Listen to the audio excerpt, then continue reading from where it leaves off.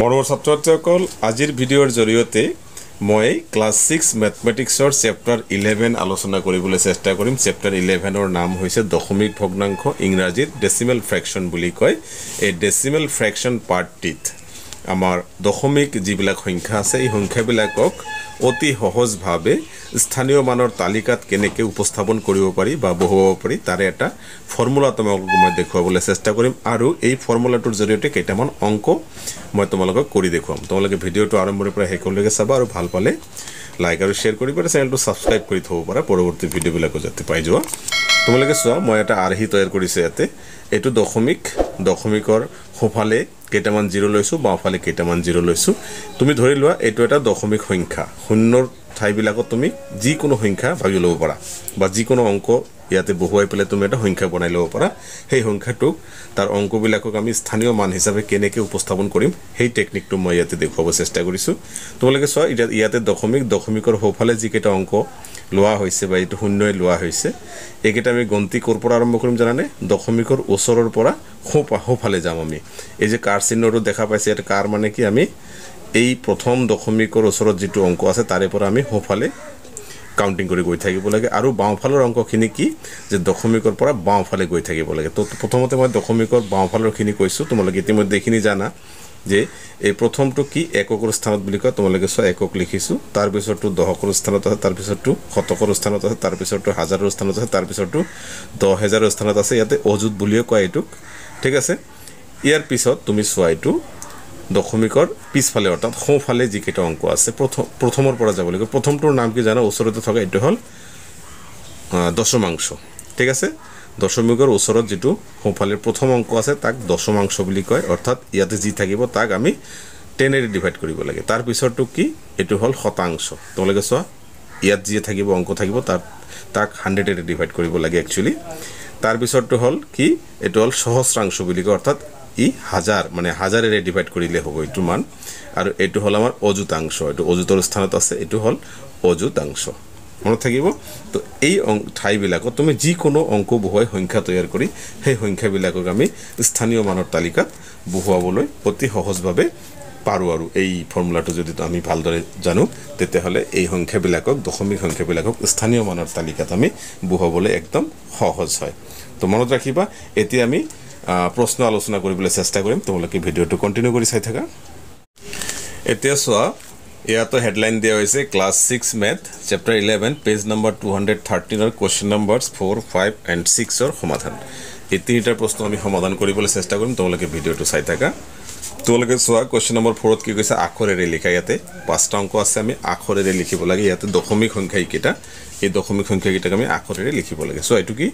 শূন্য দশমিক দুই। আমি আখৰেৰে কেনেকৈ লিখিম? আমি লিখিম শূন্য দশমিক দুই। এইটো আমাৰ হৈ গ'ল। ঠিক আছে? আখৰেৰে লিখা হৈ গ'ল। এইটো চোৱা, ইয়াতে কি আছে? বি নম্বৰত এক দশমিক এক দশমিক শূন্য পাঁচ। ঠিক আছে? এক দশমিক শূন্য পাঁচ। এইটো আমাৰ হ'ল। এতিয়া চোৱা, চি নম্বৰটো চোৱা কি? শূন্য দশমিক শূন্য শূন্য তিনি। হয়নে? এনেকৈ লিখিবা। শূন্য দশমিক শূন্য শূন্য তিনি। এইটো হৈ গ'ল। এতিয়া ইয়াৰ পিছৰটো চোৱা কি কৈছে ইয়াতে? এশ একত্ৰিছ দশমিক দুই পাঁচ। কেনেকৈ লিখিবা? আমি দুটা ধৰণত লিখিব পাৰোঁ। এইটো এক শতক লিখিব পাৰোঁ তিনি দশক এক একক লিখি পেলাই দশমিক দুই পাঁচ লিখিব পাৰোঁ। অথবা এশ একত্ৰিছ দশমিক দুই পাঁচ এনেকৈ লিখিলেও হ'ব। তুমি এনেকৈ লিখা। একচুৱেলি আমি স্থানীয় মানৰ হিচাপত লিখোঁ। তো এই প্ৰথম একটো কি হ'ব? এক কি হ'ব? শতক। হয়নে? শতক। তাৰপিছত তিনি দশক। তাৰপিছত আৰু এটা এক আছে। এক একক। তাৰপিছত তুমি দশমিক লিখিবা। দশমিক আৰু দশমিক নিদিলে তুমি দুই দশমাংশ লিখিব পাৰা পাঁচ শতাংশ লিখিব পৰা যায়। দশমিক দুই পাঁচ লিখিলেও কিন্তু হ'ব। দশমিক আমি দুই পাঁচ। এইটো হ'ব। নতুবা এইটো এনেকৈ লিখিব পাৰিলোঁ হয় যে দুই এইটো কি দশমাংশ আৰু পাঁচ শতাংশ এইটোও লিখিব পৰা যায়। এতিয়া এইটো চোৱা ই নম্বৰটো। এইটো কি আছে দুই কি মাহত? এইবাৰ কি হ'ব? দুই এইটো হাজাৰৰ ঘৰত আছেতো আমি। দুই হাজাৰ ঠিক আছে তাৰপিছত এক শতক। অ'কে তাৰপিছত সাত দহক। তাৰপিছত পাঁচ একক। হয়নে? একক, এইটো এই নিয়মত কৰোঁ। ঠিক আছে, চাৰিটো কি হ'ব? তাৰপিছত চাৰি কি হ'ব দশমাংশ লিখিব পৰা যায়। ঠিক আছে? দশ মাংস। তাৰপিছত তিনিটো কি? তিনি শতাংশ। তিনি শতাংশ। তাৰপিছত ন সহস্ৰাংশ। ঠিক আছে?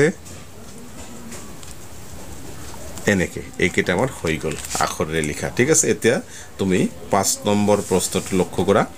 পাঁচ নম্বৰত কি কৈছে? দশমিক সংখ্যাবোৰ স্থানীয় মান তালিকাত লিখা।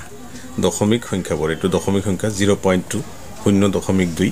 তো এইটো হ'ব সংখ্যাৰ স্থান ইয়াতে হ'ব শূন্য দশমিক দুই। তো এককৰ ঘৰত কি আছে? এককৰ ঘৰত আছে শূন্য। আৰু এইটো কি? এক দশমিকৰ পিছফালে লাগি আছে যিটো মই ফৰ্মুলাত বুজালোঁ তোমাক। এইটো কি? দশমাংশ গতিকে দশমাংশৰ স্থানত কি হ'ব? দুই হ'ব। এইটো হৈ গ'ল আমাৰ। তাৰপিছত চোৱা তাৰপিছত আমাৰ আছে বি নম্বৰ অংকটো। মন কৰি যোৱা। বাৰ দশমিক শূন্য তিনি এইটো হ'ব সংখ্যা। বাৰ দশমিক শূন্য তিনি। তো এককৰ ঘৰত কি আছে? দশমিকৰ ওচৰতে বাওঁফালে দুই। এককৰ ঘৰত হ'ব আমাৰ দুই। দহৰ ঘৰত কি আছে? এক। তাৰপিছত দশমিকৰ সোঁফালে ওচৰতে লাগি থকা সংখ্যাটো অংকটো হ'ল শূন্য দশমাংশ। তাৰপিছতটো হ'ল শতাংশ। এইটো হ'ল আমাৰ তিনি। এইটোও গ'ল।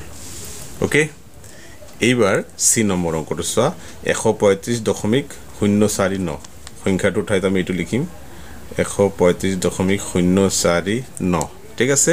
এতিয়া আমাৰ দশমিকৰ লগত বাওঁফালে লাগি থকা অংকটো হ'ল একক। এককৰ ঘৰত পাঁচ দশকৰ ঘৰত হ'ব তিনি আৰু শতকৰ ঘৰত হ'ব এক। আৰু দশমাংশৰ ঘৰত কি হ'ব? দশমিকৰ লগত সোঁফালে লাগি থকা অংকটো এইটো হ'ব শূন্য তাৰপিছত এইটো হ'ব শতাংশ শতাংশত হ'ব চাৰি আৰু সহস্ৰাংশ সহস্ৰাংশৰ স্থানত হ'ব ন। এইটো আমাৰ হৈ গ'ল। অ'কে এতিয়া তুমি মন কৰা আৰু দুটা অংক ইয়াতে আছে আমাৰ পাঁচ নম্বৰৰ চোৱা পাঁচ নম্বৰৰ অংক এইটো ডি নম্বৰ হা? ডি নম্বৰটোত আছে আমাৰ যে শূন্য দশমিক শূন্য এক শূন্য এক এই সংখ্যাটো আমি ইয়াতে লিখিম শূন্য দশমিক শূন্য এক শূন্য এক ঠিক আছে? তো শূন্য দশমিকৰ লগত বাওঁফালে লাগি থকা অংকটো একক একৰ ঘৰত কি আছে? শূন্য। আৰু দশমিকৰ লগতে সোঁফালে লাগি থকা সংখ্যাটোৰ অংকটোৰ স্থান হ'ব কি? দশমাংশ দশমাংশটো শূন্য হ'ব। তাৰপিছতটো হ'ব আমাৰ শতাংশ। শতাংশত এক হ'ব। তাৰপিছতটো হ'ব সহস্ৰাংশ। ইয়াতে শূন্য হ'ব। তাৰপিছতটো অযুতাংশ। অযুতাংশত এক হ'ব। এইটো আমাৰ হৈ গ'ল। ইয়াৰ পিছত আমাৰ ই নম্বৰ প্ৰশ্নটোলৈ মন কৰা। Four zero' zero' five point one zero' two five তো এই সংখ্যাটো আমি লিখিম four zero' zero' five point one zero' two five এতিয়া আমাৰ দশমিকৰ ওচৰতে লাগি থকা অংকৰ পৰা আমি বাওঁফালে যাম একক দশক শতক হাজাৰ। একক ক'ত আছে? এককত কি আছে? পাঁচ। দশকৰ ঘৰত আছে শূন্য শতকৰ ঘৰতো শূন্য হাজাৰৰ ঘৰত আছে চাৰি অ'কে আৰু দশমিকৰ লগতে সোঁফালে অংককেইটা কি কি আছে?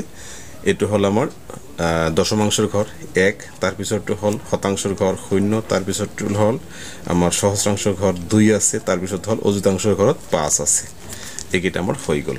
অ'কে এতিয়া কুৱেশ্যন নম্বৰ ছিক্স এতিয়া কুৱেশ্যন নম্বৰ ছিক্সত কি কৈছে লক্ষ্য কৰা? বিস্তৃত ৰূপত লিখা। আমাক কিছুমান দশমিক সংখ্যা দিছে আমি এইকেইটাক বিস্তৃত ৰূপত লিখিব লাগে। কেনেকৈ লিখিম? তোমালোকে মন কৰা। এই সংখ্যাটো প্ৰথমতে। মই আগতে কি কৈছোঁ? যে দশমিকৰ সোঁফালে যিকেইটা থাকে আৰু দশমিকৰ বাওঁফালে যিকেইটা থাকে, আমি চাব লাগে ভালকৈ। দশমিকৰ বাওঁফালে ওচৰতে লাগি থকা যিটো অঙ্ক আছে, ইয়াৰ স্থানীয় মান কি? এককৰ স্থান। ঠিক আছে? তো আমি এতিয়া কি লিখিম? শূন্য পূৰণ এক। অৰ্থাৎ শূন্যটো আছে, এককৰ স্থানত আছে কাৰণে একেৰে পূৰণ হ'ল। এতিয়া তুমি প্লাছ লিখিবা। দশমিকৰ ওচৰতে সোঁফালে যিটো লাগি আছে, এইটো হ'ল কি? আমাৰ দশমাংশৰ ঘৰ। অৰ্থাৎ শূন্যৰ লগত পূৰণ হ'ব ওৱান বাই টেন। এইটো হ'ল দশমাংশ। ঠিক আছে? তাৰপিছত যিটো আছে আমাৰ দশমিকৰ ওচৰতে লাগি থকা সোঁফালে হৈ গ'ল। তাৰপিছৰটো কি আছে? এইটো হ'ল শতাংশৰ ঘৰ। অৰ্থাৎ ফাইভ যিহেতু, এইটো শতাংশ মানে ওৱান বাই টেন ঠিক আছে? এইটো আমাৰ হৈ গ'ল। বিস্তৃত ৰূপত লিখা হ'ল। মনোযোগ দিবা। ইয়াৰ পিছত বি নম্বৰটো চোৱা। বি নম্বৰটোত কি কৈছে? দশমিকৰ ওচৰত বাওঁফালে, কিন্তু এককৰ স্থান, অৰ্থাৎ ফ'ৰ ইণ্টু ওৱান প্লাছ দশমিকৰ ওচৰত সোঁফালে কি লাগি আছে? ছিক্স ইণ্টু যিহেতু এইটো দশমাংশ ওৱান বাই টেন প্লাছ ইয়াৰ পিছৰটো ওৱান ইণ্টু এইটো কি শতাংশ? One by hundred hundred plus তাৰপিছৰটো কি? টু ইণ্টু ওৱান বাই কি? থাউজেণ্ড অৰ্থাৎ সহস্ৰাংশ অ'কে অ'কে এইটো গ'ল এইটো আমাৰ হৈ গ'ল। ইয়াৰ পিছৰটোত লৈ মন কৰা C number thirty one point seven nine তো এইটো প্ৰথমতে দশমিকৰ বাওঁফালে এক আছে তিনি আছে ন এক হ'ল তাৰমানে আমি তিনিৰ পৰা আৰম্ভ কৰিম তিনিটোৰ স্থান কি?